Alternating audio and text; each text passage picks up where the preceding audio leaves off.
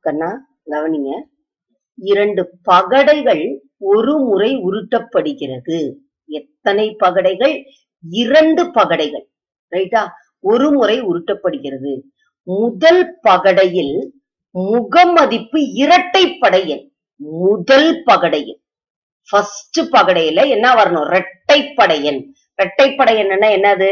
ரெண்டு நாலு ஆறுன்னு வரணும். ரைட்டா அடுத்தது முக மதிப்புகளினுடைய கூடுதல் எட்டு அப்படின்னு கிடைக்கணும். கூடுதல் என்ன கிடைக்கணும்? எட்டுன்னு கிடைக்கணும். எட்டாக கிடைப்பதற்கான நிகழ்தகவை காண்க. இரண்டு பகடைகள் உருட்டும் போது கூறு வெளியானது. ஒன்னு ஒன்னு ஒன்னு ரெண்டு ஒன்னு மூணு ஒன்னு நாலு ஒன்னு அஞ்சு ஒன்னு ஆறு. இது வந்து எல்லாருக்குமே தெரியும். எப்படி வருதுன்னு மர வரைபடம் போட்டு சொல்லி கொடுத்தேன். ஞாபகம் இருக்கா? ஒண்ணு அப்படின்னா முத பகடையில சப்போஸ் ஒண்ணுன்னு விழுந்துச்சுன்னா அடுத்த பகடையில நமக்கு என்ன பாசிபிலிட்டி இருக்குது ஒன்னு ரெண்டு மூணு நாலு அஞ்சு ஆறு. அப்போ ஒன்னு ஒன்னு ஒன்னு ரெண்டு ஒன்னு மூணு ஒன்னு நாலு ஒன்னு அஞ்சு ஒன்னு ஆறு. இல்லையா? அதே மாதிரி அடுத்த பகடையில மறுபடியும் என்ன ஆகுது? ஒண்ணுன்ற இடத்துல ரெண்டுன்னு விழுந்தா ரெண்டு ஒண்ணு ரெண்டு ரெண்டு ரெண்டு மூணு ரெண்டு நாலு ரெண்டு அஞ்சு ரெண்டு ஆறு. மறுபடியும் இது என்னவா மாத்தணும்? மூணு. அப்பதான் எழுதுறதுக்கு உனக்கு எளிமையா இருக்கும். ரைட்டா அடுத்தது என்னது? நாலு. அடுத்தது அஞ்சு. அடுத்தது ஆறு. இதுதான். அதனால ஒண்ணு ஒண்ணு. அப்ப மொத்தம் எத்தனை வருது இங்க பாருங்க. இங்க ஆறு இருக்கா? இங்க ஆறு இருக்குதா? அப்ப ஆறு ஆறு முப்பத்தி ஆறு. நல்லா தெரிஞ்சுக்கோ. ஒண்ணு அப்படின்றதோட ஆறு எண். அடுத்தது ரெண்டுன்னு போட்டு ஆறு. மூணுன்னு போட்டு ஆறு வரைக்கும். நாலுன்னு போட்டு ஆறு வரைக்கும். அஞ்சுன்னு போட்டு ஆறு வரைக்கும். ஆறுன்னு போட்டு ஆறு வரைக்கும். வேற ஒண்ணும் கிடையாது. அப்ப என் ஆஃப் என்ன? முப்பத்தி ஆறு. இதுக்கு ஒரு மார்க் கிடைச்சிரும். அதே மாதிரி இங்க ஒரு வார்த்தை இருக்குது பாருங்க அல்லது. வந்திருக்கா வரலையா? ரெண்டு இது கொடுத்திருக்காங்க. ஒண்ணு முதல் பகடையில முகமதிப்பு இரட்டைப்படையன். ரெண்டாவது அல்லது கூடுதல் எட்டு. அப்ப என்ன தேற்றம்? நிகழ்தகவின் கூட்டல் தேற்றம். நடா கண்ணா இதுல வரணும்? நிகழ்தகவின் கூட்டல் தேற்றம். பி ஆஃப் ஏ சேர்ப்பு B equal to P of A plus P of B minus P of A வெட்டு பி ரைட்டா இரண்டு நிகழ்ச்சிகள். அதனால ஏபி ரைட்டா இப்ப ஏ அப்படின்றத என்ன எடுக்கலாம் அப்படின்னா இப்ப பி ஆஃப் ஏ கண்டுபிடிக்கணும் பி ஆஃப் பி கண்டுபிடிக்கணும் பி ஆஃப் ஏ வெட்டு பி கண்டுபிடிக்கணும். ஏ என்பது ஃபர்ஸ்ட் ஒன் ரைட்டா முதல் பகடையில் முகமதிப்பு இரட்டைப்படை எண் அப்ப என்ன சொல்லலாம்? ஏ என்பது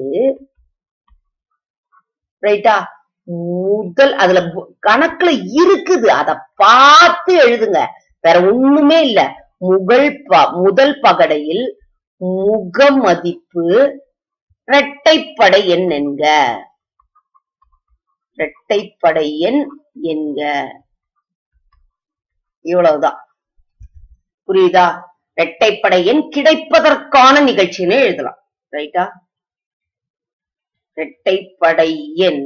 ஏன்னா நீங்க அப்படியே பழகிட்டீங்க. இரட்டைப்படை எண் கிடைப்பதற்கான நிகழ்ச்சி எங்க? நிகழ்ச்சி என்க இப்ப இது இப்படி ரொம்ப எழுத முடியலன்னா நான் என்ன சொல்லியிருக்கேன்? ஏ ஈக்குவல் டு முதல் பகடையில் என்னது? முகமதிப்பு இரட்டைப்படை எண் என்க. அப்படி ஷார்ட்டா எழுதிக்கும் சரியாடா கண்ணா? புரியுதா? புரியலையா?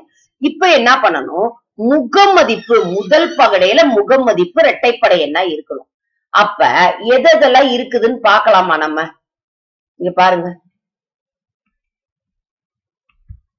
எது?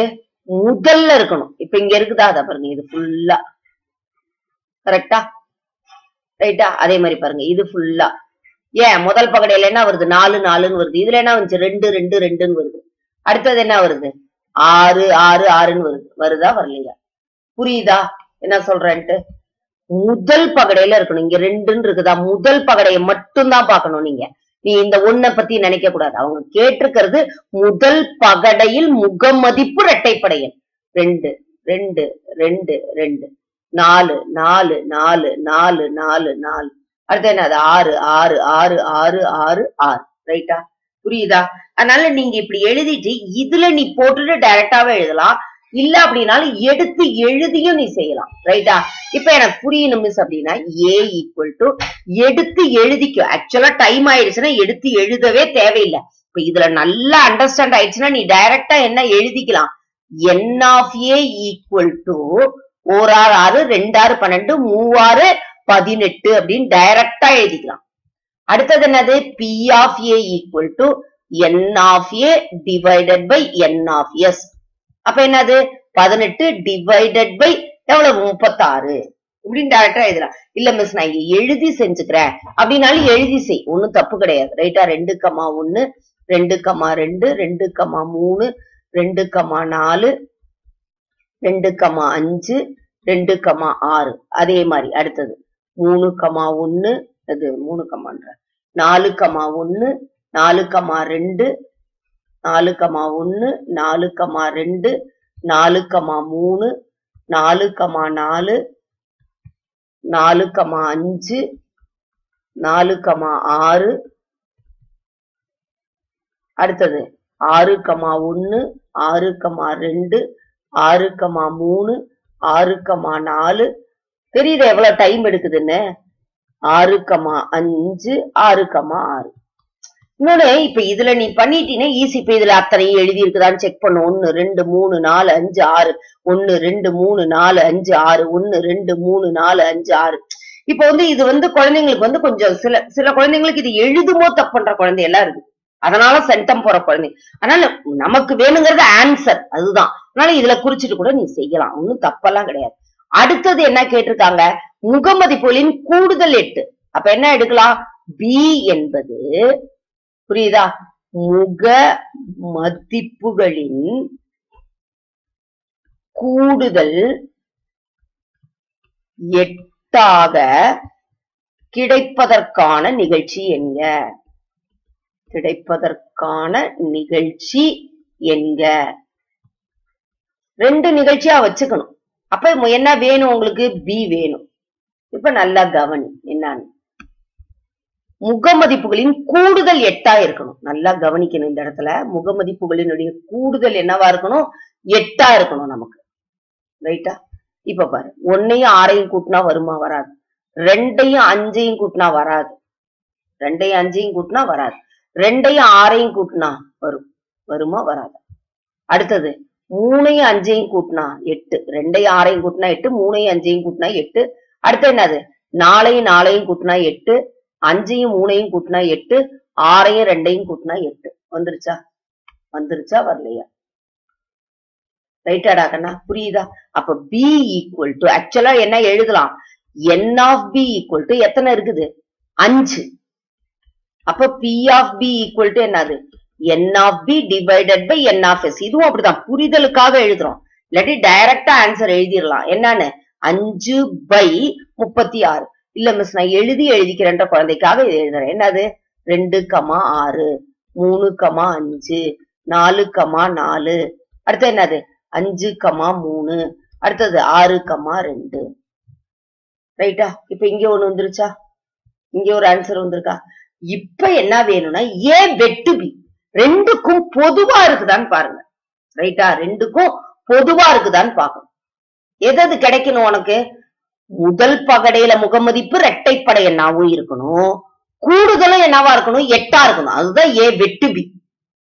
ஏ வெட்டு பின்றது அதுதான். இரண்டுக்கும் பொதுவா இருக்கிறது. அப்ப நல்லா கவனிங்க.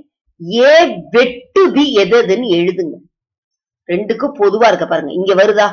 பச்சையும் இந்த ரோஸும் இது பிங்க்கும் கலந்து வந்திருக்கா? இங்க வந்திருக்கா?